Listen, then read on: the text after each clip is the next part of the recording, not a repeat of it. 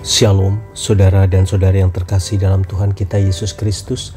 Marilah kita luangkan waktu beberapa menit untuk berkencan dengan Tuhan saat ini, agar dari hari ke hari kita semakin dekat dengan Tuhan, sehingga hidup kita semakin diberkati dan menjadi berkat.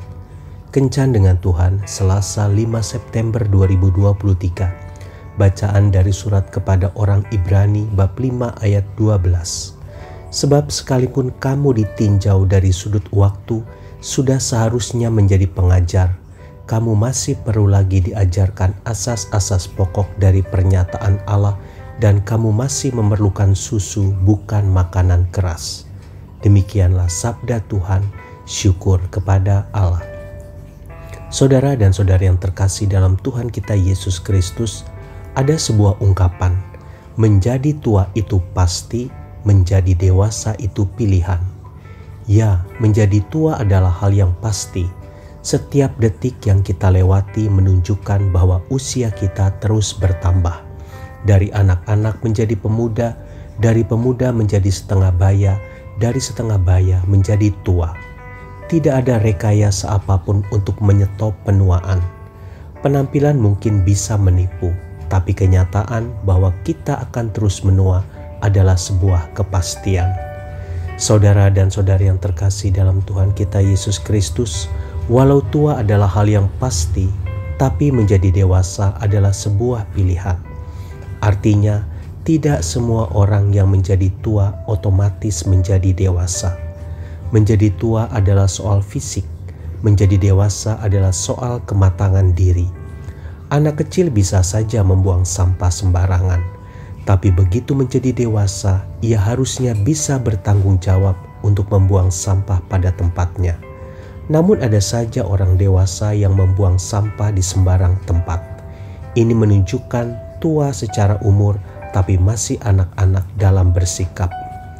Saudara dan saudari yang terkasih dalam Tuhan kita Yesus Kristus, bagaimana dengan kehidupan rohani kita? Banyak pengikut Yesus yang tua secara umur rohani, tapi kematangan rohaninya masih sangat diragukan.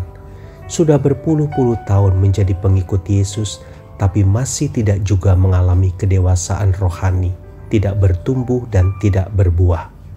Penulis surat Ibrani menyatakan dengan terus terang kepada jemaat yang dilayaninya bahwa secara umur mereka harusnya sudah menjadi pengajar atau orang yang dewasa rohaninya namun nyatanya mereka masih saja jadi bayi-bayi rohani yang memerlukan susu.